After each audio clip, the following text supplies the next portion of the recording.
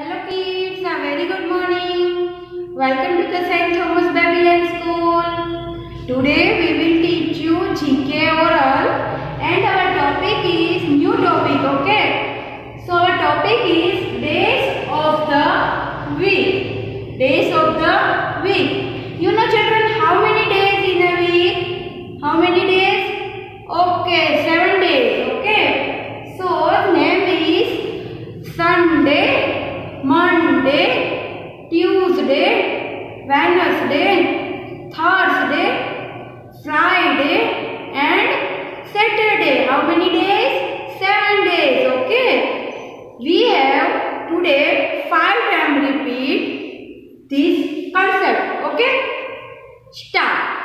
Sunday, Monday, Tuesday, Wednesday, Thursday, Friday Saturday.